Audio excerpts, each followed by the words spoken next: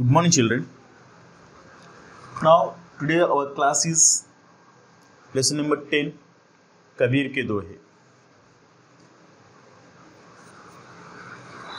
ఇంతవరకు మనం చెప్పుకున్నటువంటి పాఠాల్లో రకరకాలు ఉన్నాయి అంటే ఇంతకుముందు మనం కన్వర్సేషన్ చెప్పుకున్నాం. అదొక విధ. అంతకుముందు మనం పాఠం చెప్పుకున్నాం. అంతకుముందు ఒక లెసన్ చెప్పుకున్నాం. పత్ర విధ చెప్పుకున్నాం.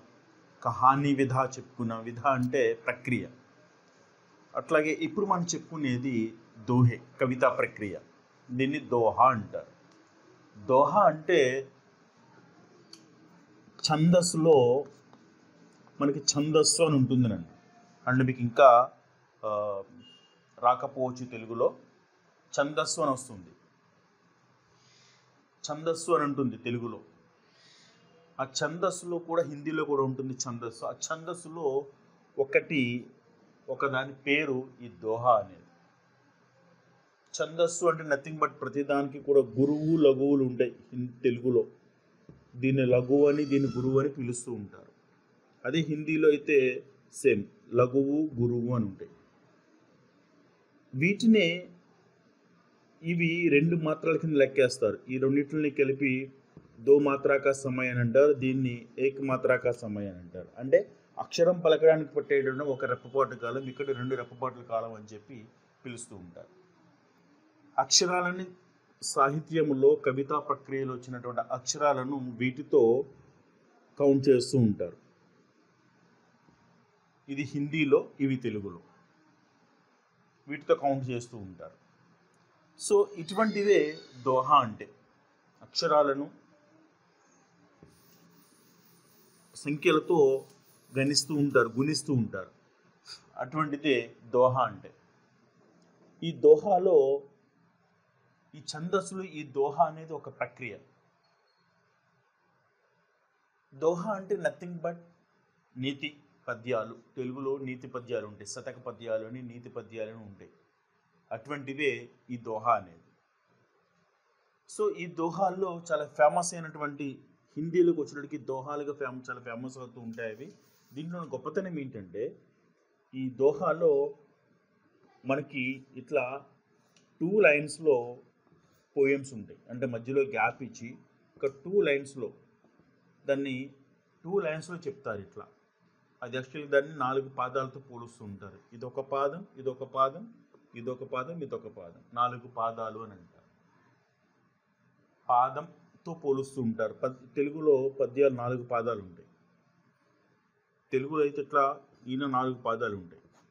అదే హిందీలో దోహాలో ఉండేటువంటి గొప్ప దోహాలో రెండే పాదాల కింద కనిపిస్తాయి బట్ నాలుగు పాదాలు ఉంటాయి. ఇట్లా దీన్ని దోహా అంటారు. దాంట్లో ఉన్న గొప్ప మరొక గొప్పతనం ఏంటంటే విత్ ఇన్ గ్రేట్ ఎగ్జాంపుల్ ఒక ఎగ్జాంపుల్తో ఇచ్చిన విషయాన్ని చెప్పదలసిన విషయాన్ని ఎగ్జాంపుల్తో ఇండైరెక్ట్గా చెప్పడం జరుగుతూ ఉంటుంది. అది దోహ యొక్క గొప్పతనం. అటువంటి దోహ రచించడంలో కబీర్ దాస్ గారు very famous and well known ప్రాచీన హిందీ సాహిత్యంలో కబీర్ దాస్ అనేవాడు చాలా గొప్పవాడు. ఆయన ఈ దోహాలు చాలా గొప్ప దోహాలు రచించడం జరిగింది. వాటిలో కొన్ని దోహాలు మనకి ఇక్కడ ఇవ్వడం జరిగింది టెక్స్ట్ బుక్లో అవి కబీర్కి దోహ అనే పేరుతో. ఈ కబీర్ దాస్ ఎవరు అని అంటే స్వతహాగా ఈయన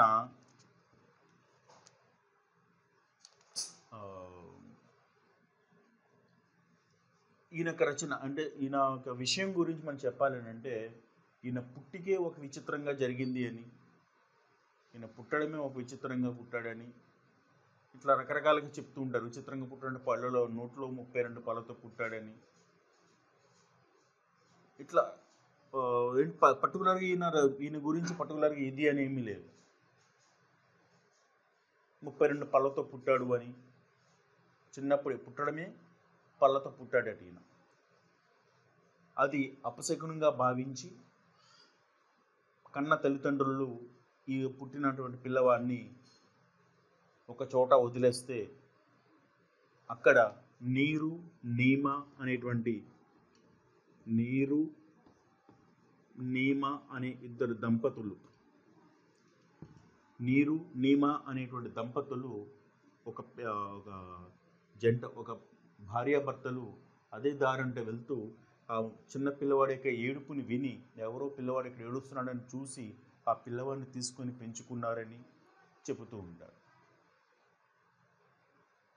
ముప్పై రెండు పళ్ళతో పుట్టడం అంటే అది అపశకంగా భావించి వదిలేసింది ఆ కన్న తల్లి. వీళ్ళని పెంచిన తల్లిదండ్రులుగా నీరు నీమ పెంచిన తల్లిదండ్రులుగా ఫేమస్ అయ్యారు. మరికొంతమంది ఏం చెబుతూ ఉంటారంటే ఈయన జన్మ గురించి ఈయన దైవాంశ సంభూతుడు అని.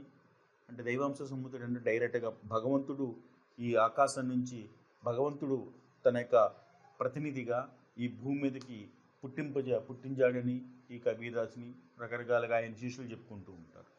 మరికొంతమంది ఏం చెప్తూ ఉంటారంటే ఒక బ్రాహ్మణ విధవ స్త్రీకి ఒక బ్రాహ్మణ విడోకి విడో అంటే తెలుసు కదా భర్త చనిపోయినటువంటి భార్య స్త్రీ. ఆ స్త్రీకి పుట్టాడని అట్లా పుట్టడం వల్ల అది సమాజం వ్యతిరేకిస్తుంది అని సమాజాన్ని హర్షించదని అందుకని భయపడి ఆ సమాజానికి భయపడి ఈమె ఒక చెరువుడిని వదిలేస్తే వీళ్ళిద్దరూ తీసుకెళ్ళి పెంచుకున్నారని ఇలా రకరకాలుగా చెప్తూ ఉంటారు.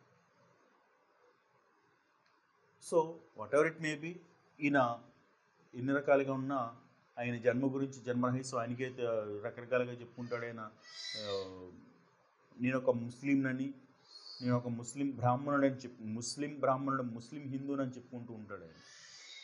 ఈయన అవడానికి ముస్లిం అయినప్పటికీ కూడా ఈయన అవటానికి ముస్లిం అయినప్పటికీ కూడా శ్రీరాముడు అంటే పరమ భక్తి కలవాడు ఈయన.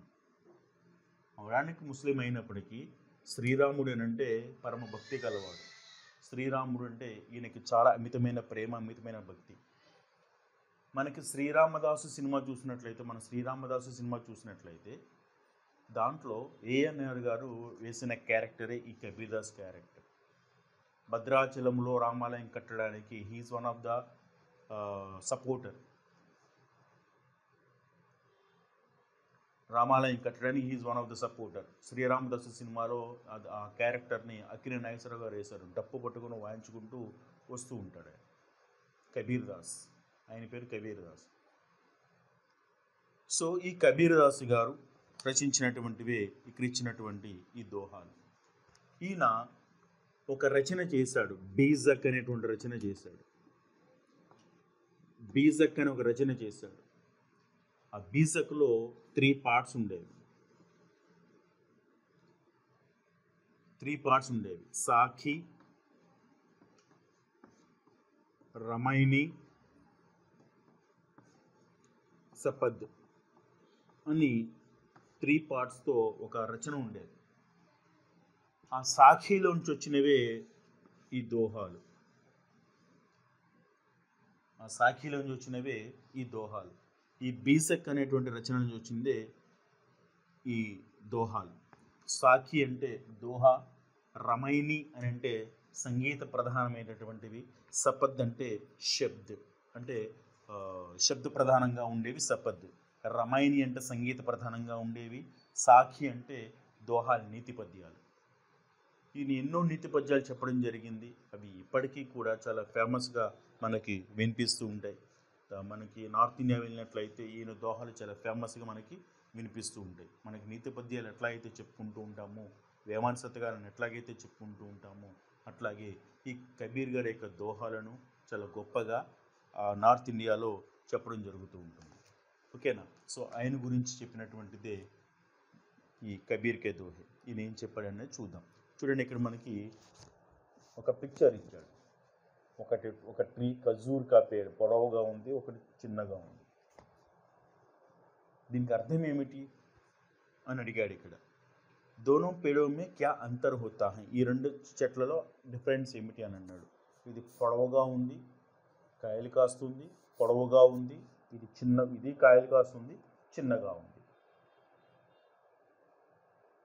बड़ा हुआ तो क्या हुआ जैसे पेड़ खजूर बड़ा हुआ तो क्या हुआ जैसे पेड़ खजूर पंथी को छाया नहीं फल लागे अति दूर అదే దీనికి అర్థం బడా హువా తో క్యా హువా జైసే పేడ్ ఖజూర్ ఖజూర్ అంటే డేట్ ఇది ఒక ఖర్జూరపు చెట్టు ఇది బడా హువా తో క్యా హువా జైసే పేడ్ ఖజూర్ पंथी को छाया नहीं पंथी को छाया नहीं फल लागे अति दूर దీనికి అర్థం ఏంటంటే దీనికి అర్థం ఏంటంటే ఇప్పుడు నేను చెప్పిన శ్లోకమే నేను చెప్పినటువంటి దోహానే బడా హువాతో క్యా హువా పెద్దవాడైతే ఏమి ఉపయోగం లేదు మనం మన ఈ శరీరం పొందినప్పుడు దీని యొక్క అర్థం ఏమిటి అనేది మనం బడా హువాతో క్యా హువా జైసే पेड़ ఖజూర్ జైసే पेड़ ఖజూర్ పంతీ కో ఛాయా నహి ఫల్లాగే అతి దూర్ దీనికి వివరణ మనం నెక్స్ట్ క్లాస్లో చెప్పుకుందాం